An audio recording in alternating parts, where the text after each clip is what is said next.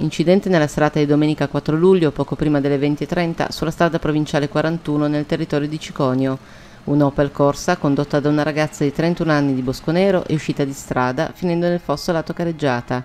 Sul posto sono intervenute due ambulanze della Croce Rossa di Rivarolo Canavese e Castellamonte, i vigili del fuoco di Rivarolo e Ivrea, la Guardia di Finanze e Carabinieri.